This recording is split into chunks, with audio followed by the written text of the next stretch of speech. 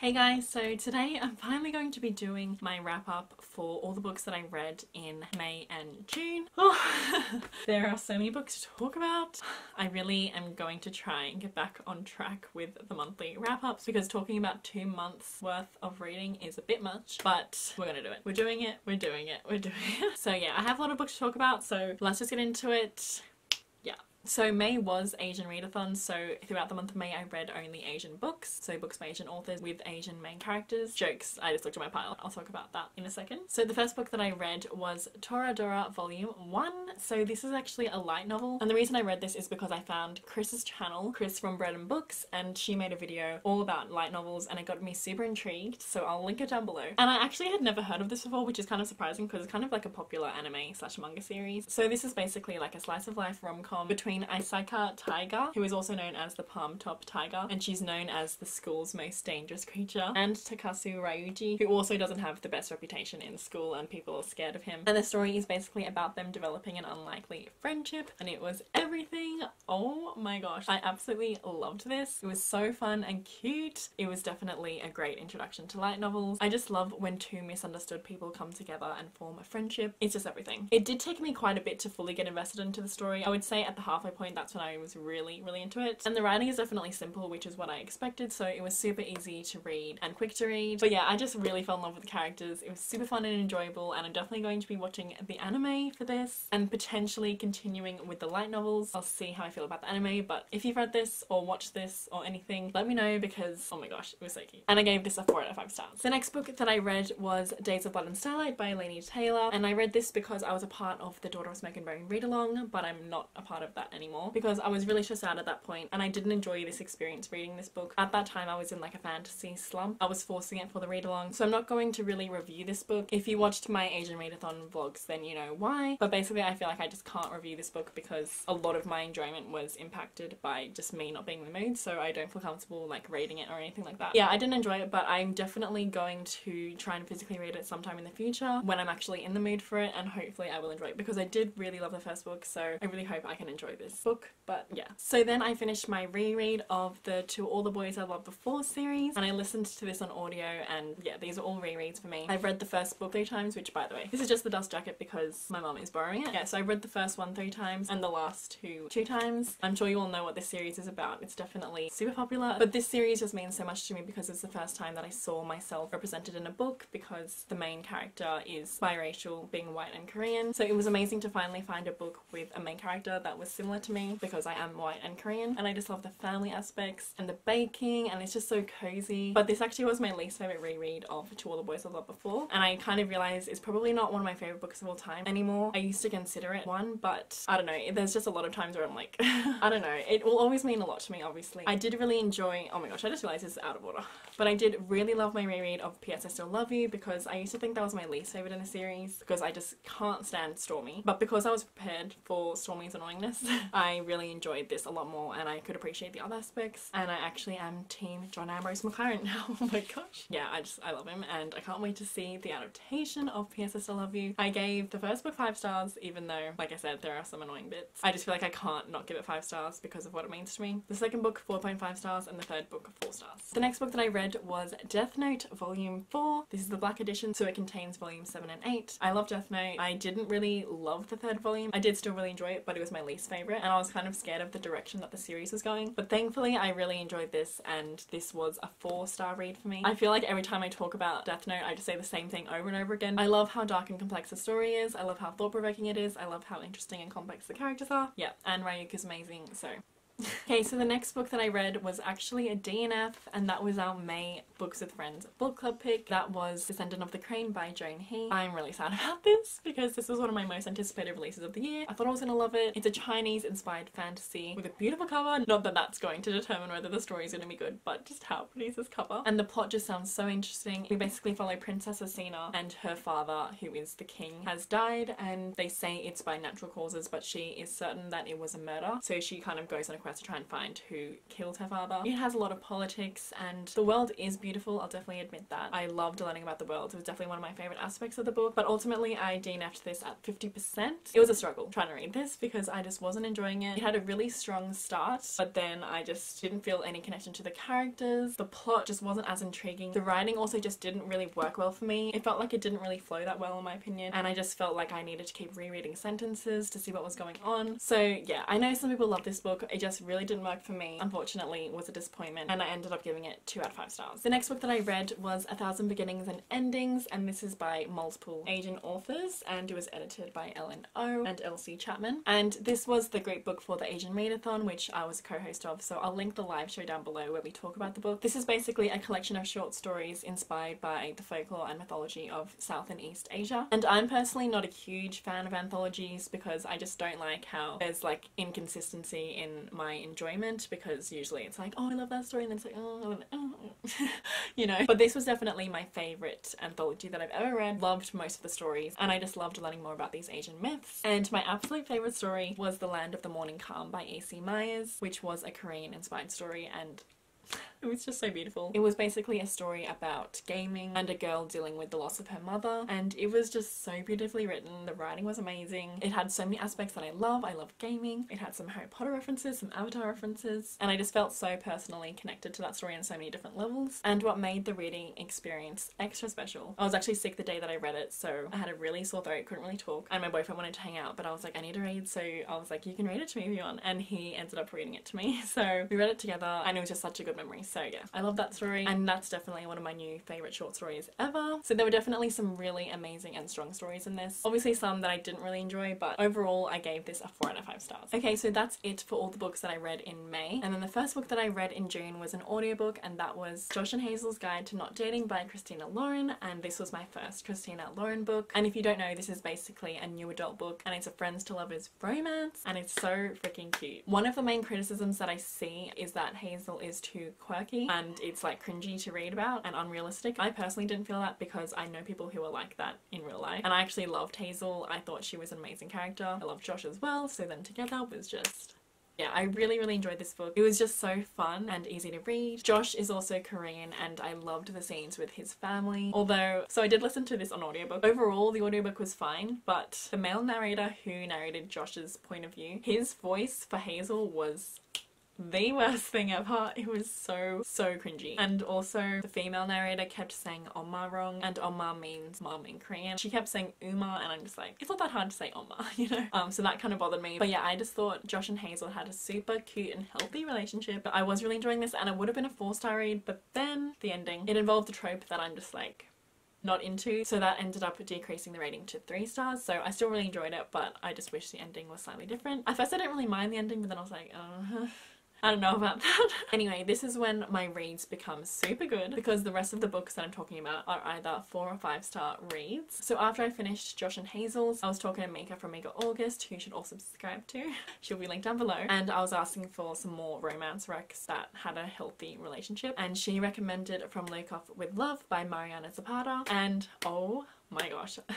I'm so happy she recommended this because this was so, so enjoyable and I absolutely loved it. So this is another adult contemporary romance. It involves a hate to love romance and it involves figure skating and oh my gosh, I just wasn't expecting there to be so many elements that I loved because she didn't really say like the synopsis or anything. She just said read this. I was like, okay. I was just in the mood to listen to another romance audiobook. So yeah, it was such a pleasant surprise and the romance was amazing. I absolutely adored the two characters and the way that the hate to love was done was just so yes. Because I'm quite picky with hate to love. Like I do love hate to love romances but I'm picky with it because I hate when it's like literal bullying to love not into that. But yeah, I especially loved the main character Jasmine. She definitely has a strong personality and she stands up for what she believes in. Because of that, people view her as difficult and she kind of has like a bad reputation in the figure skating world. And it had some really good commentary on how if she was a man and she was acting that same way, no one would question it. So I really loved that. There was definitely some nice feminist themes of the book. And Jasmine was also just hilarious. One of her most iconic lines from the book. So her mum is telling her how she needs to go out and meet more people and she says, the more people I met, the more I didn't didn't want to meet more. And this book definitely isn't solely a romance. I usually don't like books that are solely about the romance. It obviously involves the aspect of figure skating and Jasmine trying to pursue her dream in that field. And there is also a strong focus on family. Jasmine is half Filipino and she's super close to the family. And her brother is also married to a man. And I just adored the scenes with the family in it. Like it was everything. Oh my gosh, why isn't this a movie? I was just thinking like this would be everything as a movie. Call Netflix. I just can't stop this smile on my face while talking about this book because it was just so freaking enjoyable.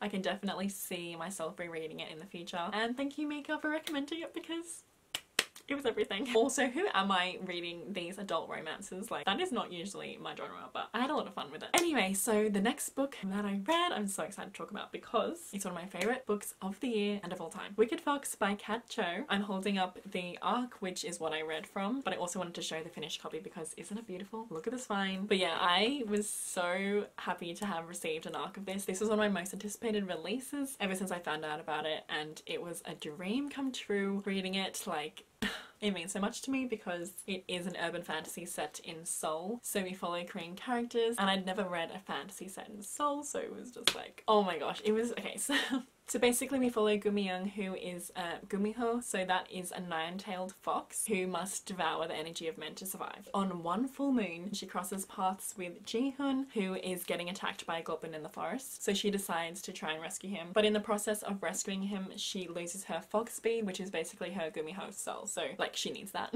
so the story is about her trying to get her bead back and obviously the friendship slash relationship that develops between these two. Oh my goodness I just love these characters so much. Miyoung is definitely very closed off from the world because she is half Gumiho, half human. She has had to travel a lot so people don't catch on that she's not fully human. So she doesn't really allow herself to be close to anyone so she doesn't really have any friends and she's definitely really lonely. So seeing her opening up and start to develop some friendships was just so heartwarming. This is also super angsty which I loved and it actually had really like old school YA fantasy vibes which I just really adored and I mean that in the best way possible. And I just love urban fantasy. I feel like I don't read enough of it. And Jihoon was everything as well. It's definitely hard not to love him. He's so funny and kind and really wears his heart on his sleeve. He doesn't hold back and he just lets his feelings out and it was just so good to read about. And the romance was kind of like a hate to love slash friends to love so it was just Again, amazing. And I just love everything about this. There were times when my heart broke, there were times where I laughed. I felt all the emotions and I love when a book makes me feel all the emotions. And actually there was one time where it felt a little bit insta-lovey and I was kind of like, but that was just one time.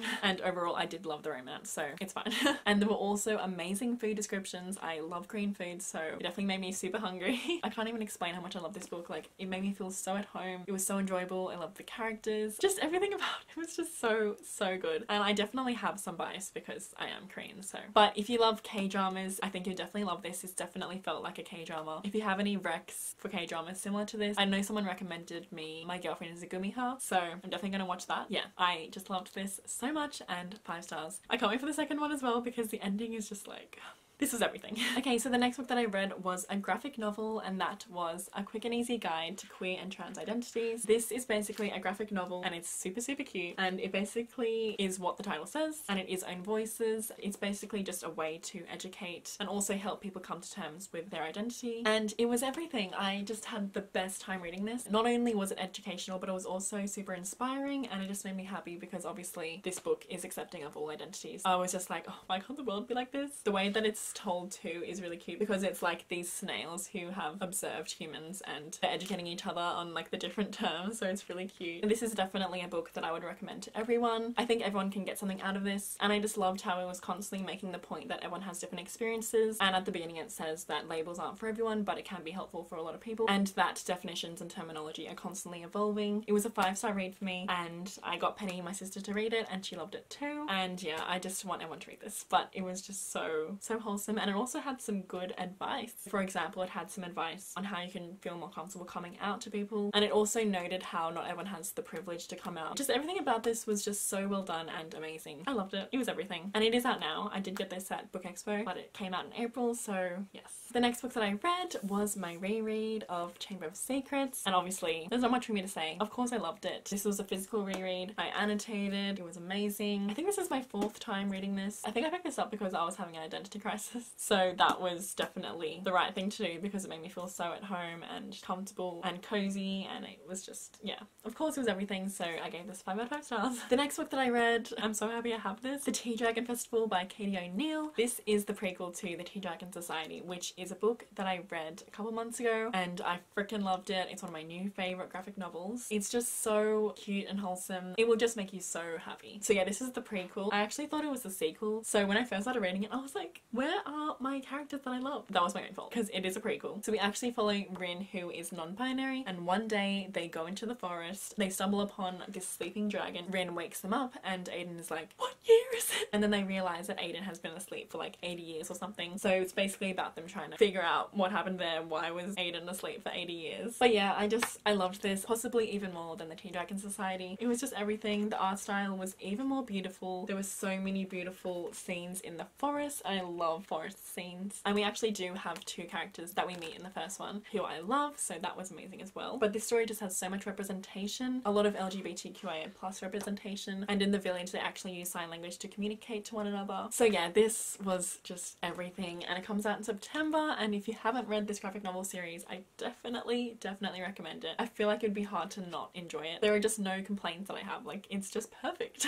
I loved it and I'm so happy that I got this arc because I'll cherish it forever. It's everything. The next book is another reread for me. Daisy Jones and the Six by Taylor Jenkins Reid. My love. This was my third time reading it and this was my first time physically reading it because the first few times I listened to it on audiobook. This time I wanted to physically read it because I wanted to annotate, tap it up. And the audiobook is definitely the superior way to consume the story in my opinion. But I definitely really enjoyed the physical experience because obviously I could annotate and I just noticed different things this time. But if you're reading this for the first time, I definitely recommend listening to the audiobook because the audiobook is just so freaking amazing and it's told in interviews so that's just the better way to read it in my opinion. But yeah, I love this story. And I'm not really going to talk about why I love it because I talked about it at length in my March and April wrap up but loved it. 5 out of 5 stars. I just love these characters and this story so much. Okay, so the next book that I read was Crooked Kingdom by Leigh Bardugo Finally, I read Six of Crows in February and absolutely loved it. I finally got around to it and I filmed a reading vlog, so look out for that coming soon. But yeah, so I loved this maybe even more than Six of Crows. I haven't quite decided, like maybe it's equal, but I will say the first half, it kind of felt like a four star read to me and I was like, ooh,